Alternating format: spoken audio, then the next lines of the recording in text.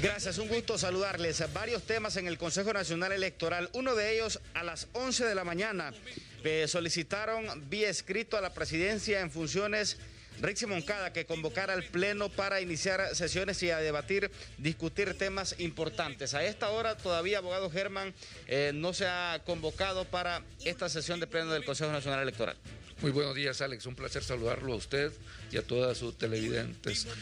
Alex, pues efectivamente, después de, de la convocatoria a elecciones primarias, pues el Pleno queda en sesiones permanentes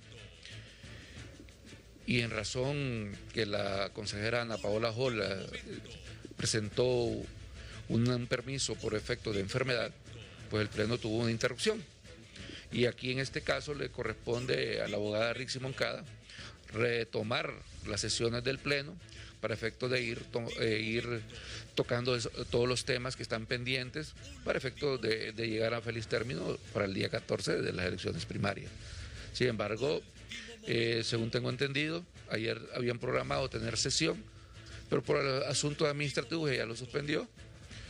Y los compañeros pues le han pedido de una manera cortés y en base a la ley que sigan trabajando sobre los temas que, que hay que ir definiendo para dejar ya todo afinado para el día 14 de marzo. Pero tampoco se ha convocado, hasta esta hora no se han convocado para reunirse en lo que va de este día martes. Pues hasta el día de, eh, hasta esta hora eh, no he tenido información de que los compañeros hayan sido convocados. Hay que esperar el transcurso de los días y de las horas del día de hoy para ver que si al final toman la decisión de, de, sentarse e ir avanzando con los temas pendientes. Y uno de los temas pendientes y que tiene a la expectativa del pueblo hondureño es el tema de los nombres en las credenciales, pero ya hay un plazo establecido. ¿Cuándo es el plazo del vencimiento para que los partidos puedan enviar con nombre las credenciales?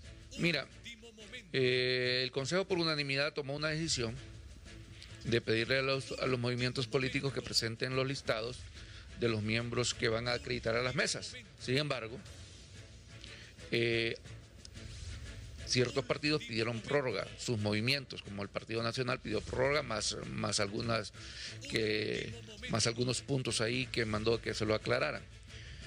Del Libre creo que pidieron prórroga y del Partido Liberal pidieron prórroga y se les extendió hasta el 22 de febrero. Hasta el 22 de febrero tienen para que hagan llegar los listados al Consejo Nacional Electoral. Muchas gracias, abogado Germán Lobo, es eh, miembro eh, suplente del Consejo Nacional Electoral y queremos que sea un proceso transparente de elecciones, pero que también se acaben los conflictos a lo interno de este órgano electoral porque también pueden dañar el proceso del 14 de marzo.